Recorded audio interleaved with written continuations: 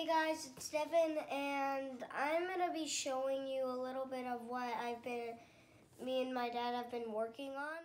I filmed this video with the with the Osmo Mobile 2, and uh, like see, we've been working on it right here. It stabilizes the the phone that you use. It was really like very unique. Just like it kind of felt like something else holding it. It's very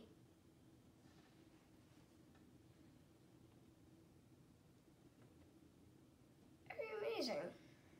We like put some tints into it. We edited it a lot of times or like we we messed up and then we redid it and we actually have some music to the background that we added.